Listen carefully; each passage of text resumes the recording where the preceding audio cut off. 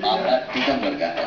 यहाँ पुलिस ने एक ढाई साल के बच्चे पर शांति भंग का अंदेशा दिखाकर उस पर मामला दर्ज कर लिया। कहते हैं भगवान की जीती जागती तस्वीर होते हैं बच्चे।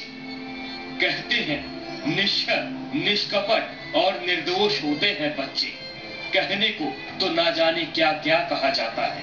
मध्य प्रदेश में हर बच्चा सीएम का भांजा कहलाता है। लेकिन उन्हीं मामा के राज की विडंबना देखिए इस मासूम का नाम स्कूल के रजिस्टर से पहले क्राइम फ़ाइल में दर्ज हो गया।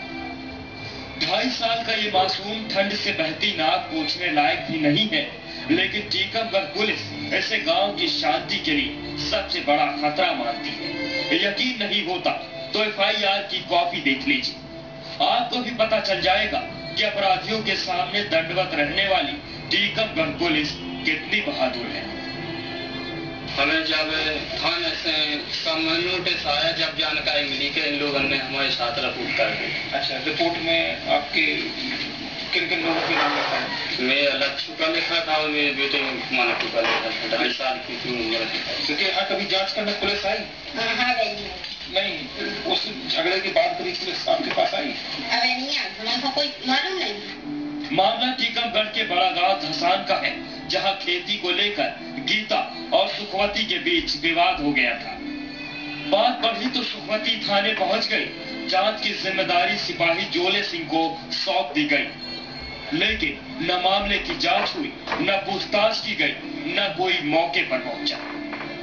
हाँ दो आरोपी ज़रूर बना दिए गए, जिनमें से एक की उम्र 26 साल और दूसरे की महज ढाई साल। 107 116 के तहत बाप बेटे पर मामला दर्ज कर लिया गया।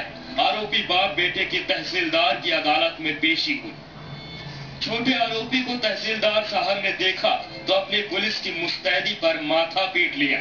मासूम के ऊपर से धारा हटाने का आदेश दे दिया गया। लेकिन बड़ागांव धसान थाने के मुलाजिमों को अपनी करतूत पर तनिक भी शर्म नहीं आई।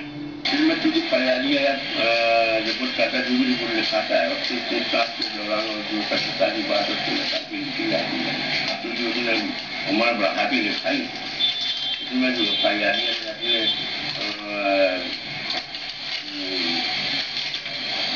परियाला में अपना स्वास्थ्य करने के लिए उम्र बढ़ा के लिख कराई थाना प्रभारी गलती का ठीकरा शिकायतकर्ता पर फोड़ रहे हैं खुद को अंधेरे में रखे जाने की दलील दे रहे हैं। लेकिन बीते कुछ महीनों पर नज़र डालें तो पता चलता है कि अंधेरे में रहने के लिए ही जानी जाती है टीकमगढ़ पुलिस। लेकिन इन सब के बीच सवाल यही उठता है कि कानून के सिपाहियों पर क्या कार्रवाई होगी, जिन्हें अनजान बच्चे और अपराधियों के बीच फ़र्क करना तक नहीं आता। RB Singh Parmar, Zee media, Tikamgarh.